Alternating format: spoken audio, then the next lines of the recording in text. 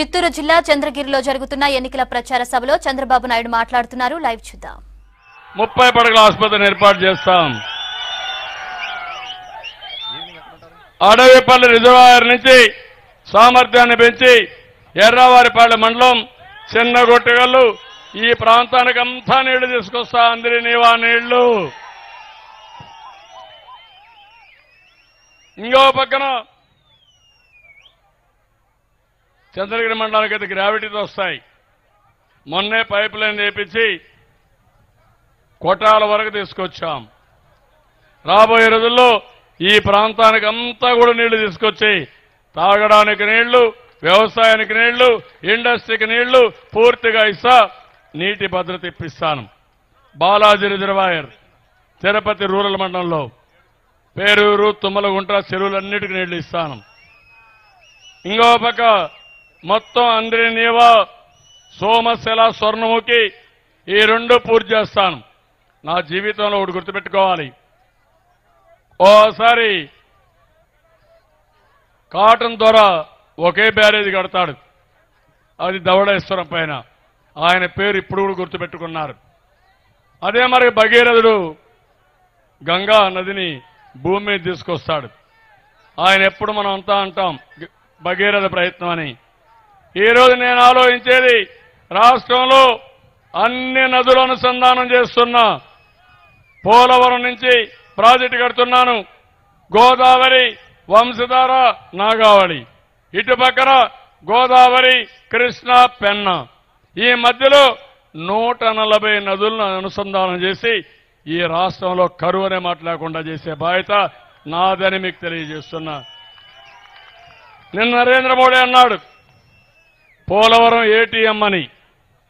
నేనేదో డబ్బులు డ్రా చేస్తున్నానని. నాకు ఆ కర్మ పట్ల నువ్వే డబ్బులు ఇవ్వలా? నీ ఏటీఎంలు ఎత్తిపోయినాయి. మా పోలవరానికి కూడా డబ్బులు ఇవ్వలా? ఇది ఏటీఎం కాదు ఏటీడబ్ల్యూ ఇది. Any time water everywhere water ఎప్పుడు బట్టనే నీళ్ళు వస్తుంది నీ ఉద్దేశం పోలవరం నిలిచిపోవాలని. నా పట్టుదల పోలవరాన్ని పూర్తి చేయాలని. సవాలు విసురుతున్నా జూలైలో గ్రావిటీతో వస్తాయి. డిసెంబర్లో ప్రాజెక్టు పూర్తవుతుందని మరొకసారి మీ అందరికీ హామీ ఇస్తున్నా. రామచంద్రాపురంలో అనుపల్లో ప్రాథమిక ఆరోగ్య కేంద్రం కావాలన్నారు కూడా ఇస్తాను. అగ్రో బేస్డ్ ఇండస్ట్రీస్ కావాలన్నారు రామచంద్రాపురంలో అవి కూడా ఇస్తాం. టీటీడీ కాంట్రాక్ట్ ఉద్యోగులకి జీతాలు పెంచాలి టైం స్కేల్స్ ఇవి చెప్పారు. అదొక కమిటీ వేసి వారికి కూడా న్యాయం చేస్తాం.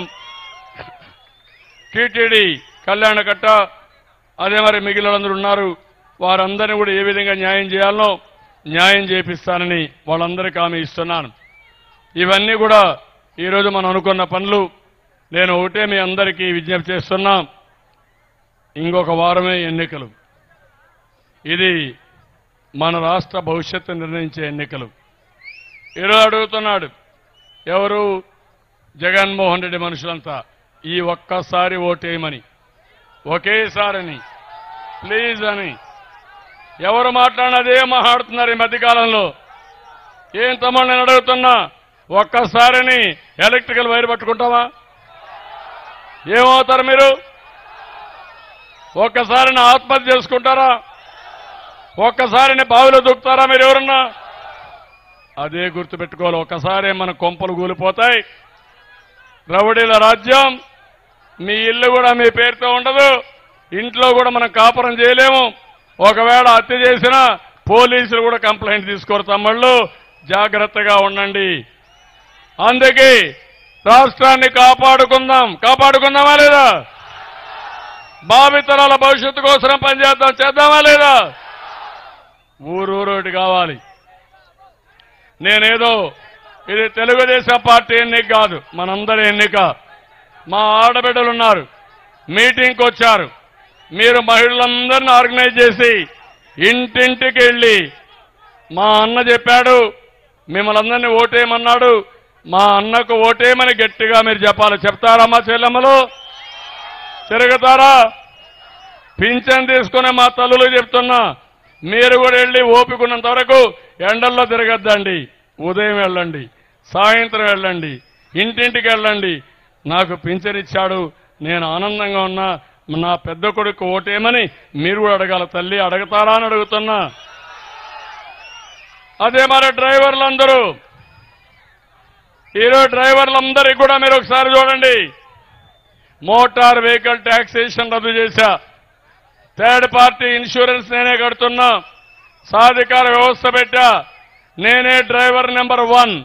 డ్రైవర్లు మిమ్మల్ని ప్రయాణికులు తీసుకుపోతే మిమ్మల్ని అందరినీ సురక్షితంగా కాపాడుతూ వస్తున్నా. అందుకే మిమ్మల్ని అందరిని అడుగుతున్నా. డ్రైవర్లందరూ కూడా చెప్పాలి. ప్రచారం చేయాలి. ప్రతి ఒక్కరికి చెప్పాలి. ఉద్యోగస్తులు ఉన్నారు. మీరు కూడా ఆలోచించుకోవాలి. మీకోసం నలభై పర్సెంట్ నలభై మూడు పర్సెంట్ ఫిట్మెంట్ ఇచ్చాను. ఇరవై పర్సెంట్ ఇంటీరియం ఇచ్చాను. అరవై సంవత్సరాలు మీ వయసు పెంచాను. చిన్న చిన్న ఉద్యోగాలకు భారీగా జీతాలు పెంచాను. ఒకరిద్దరు